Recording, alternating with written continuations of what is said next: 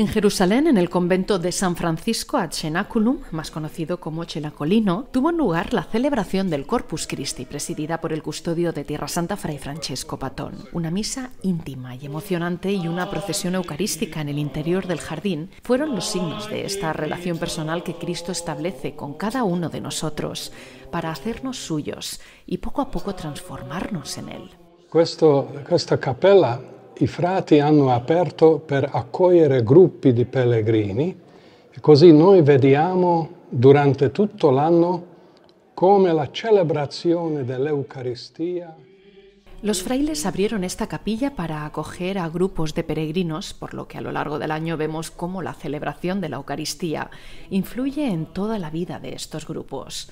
Ved la diferencia entre cuando un grupo entra y cuando sale, cuando se emocionan por el recuerdo de haber estado cerca del lugar donde Jesús nos dejó este signo de su propia presencia.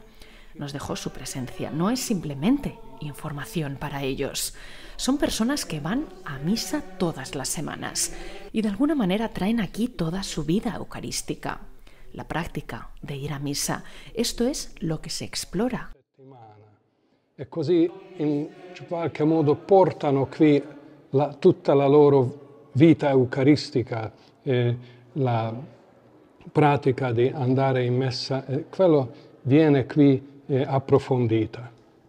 La Eucaristía es un don dado a Dios a su pueblo, pero en la perspectiva de la alianza, la Eucaristía acogida se convierte también en un compromiso que el pueblo asume hacia su Señor. Nei confronti del suo Signore. En nuestra vida personal, en nuestra vida espiritual, creo que es algo que se debe celebrar todos los días.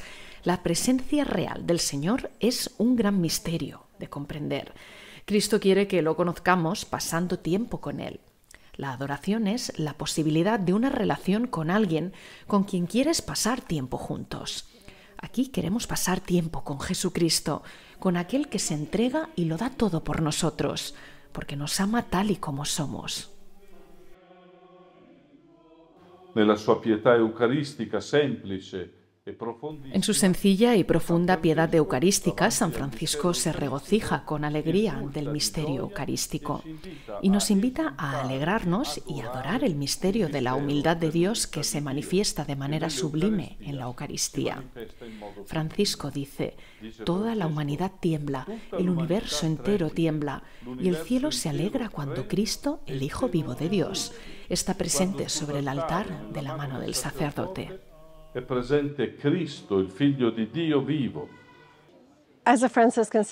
Como hermanas franciscanas de la Eucaristía, este misterio es fundamental para nosotras.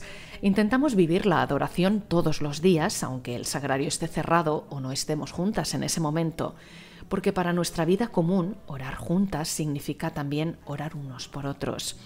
Creo que la mejor parte de nuestras vidas es lo que aprendemos a devolver a Cristo en la Eucaristía.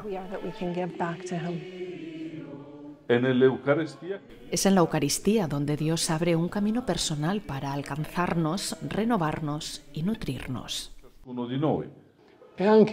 Y ellos también, como grupo, cambiarán. Serán diferentes.